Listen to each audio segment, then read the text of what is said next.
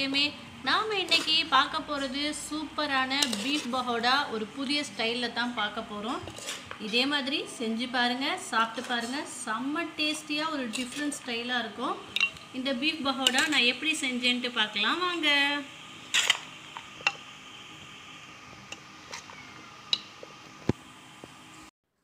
அரை kilo beef எடுத்துக்கோங்க. எடுத்து இதே மாதிரி சுத்தம் பண்ணி வச்சுருக்கேன்.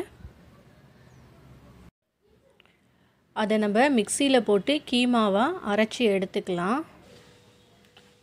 அரை கிலோ கறியை இதே மாதிரி கீமாவாக நம்ம அரைச்சி வச்சுருக்கோம். ரெண்டு டீஸ்பூன் அளவு இஞ்சி பூண்டு விழுது சேர்த்துக்கிறேன்.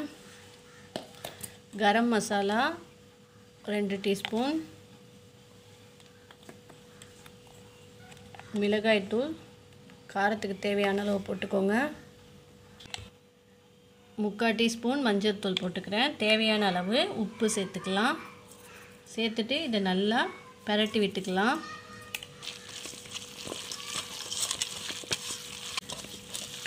நல்லா பெரட்டி விட்டுட்டு இதே மாதிரி தான் இருக்கணும். ஒரு அரை மணி நேரம் இதை அப்படியே ஊற வச்சிடலாம். இது ஊறட்டும். கறி வந்து அரை மணி நேரம் நல்லா ஊறிடுச்சு. இப்போ இதை வந்து ஃப்ரை பண்ணி எடுத்துக்கலாம். அடுப்பில் ஒரு கடாயில் எண்ணெய் வச்சுருக்கேன். எண்ணெய் நல்லா சூடு வரட்டும்.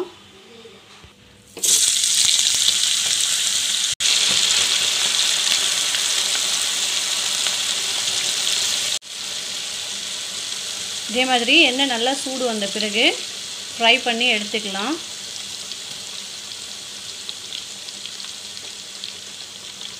மீடியம் ஃப்ளேம்லேயே வச்சுக்கோங்க.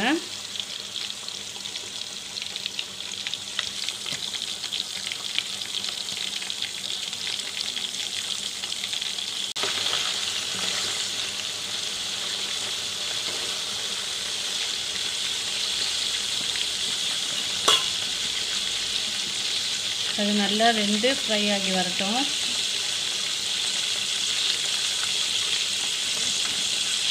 நல்லா சூப்பராக கிறிஸ்பியாக ஃப்ரை ஆகிடுச்சு இதை நம்ம எடுத்துக்கலாம்.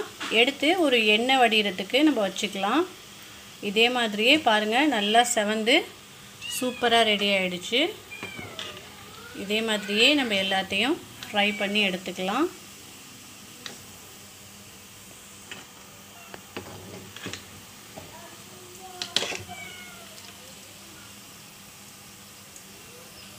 கறியை வந்து நம்ம நல்லா ஃப்ரை பண்ணி எடுத்துக்கிட்டோம். பீஃப் பவுடரில் போட்டு பெரட்டுறதுக்கு அரை கிலோவுக்கு நாலு வெங்காயம் எடுத்திருக்கேன். ரெண்டு தக்காளி பச்சை மிளகா மல்லி புதினா எலுமிச்சம்பழம் இதே மாதிரி கட் பண்ணி வச்சுக்கோங்க.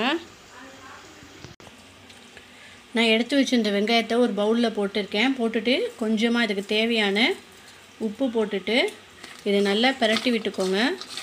அந்த வெங்காயம் வந்து நமக்கு உதிர்ந்து வரணும் தனித்தனியாக அதே மாதிரி நல்லா பரட்டி விட்டுக்கோங்க.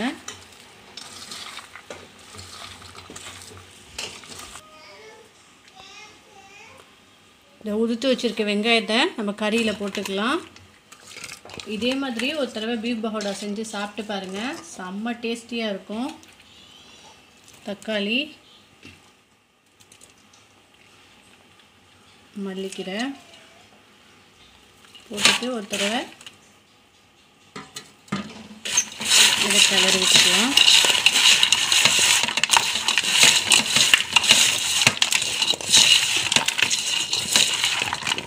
நல்லா பரட்டி விட்டுக்கிட்டோம். இப்போது புளிப்புக்கு தேவையான அளவு எலுமிச்சை சாறு ஊற்றிக்கலாம்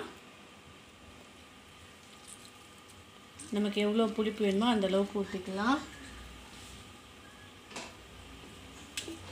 இதே நல்லா ஒரு தடவை கிளறி விட்டுக்கோங்க கடைசியாக பச்சை மிளகா போட்டுக்கோங்க.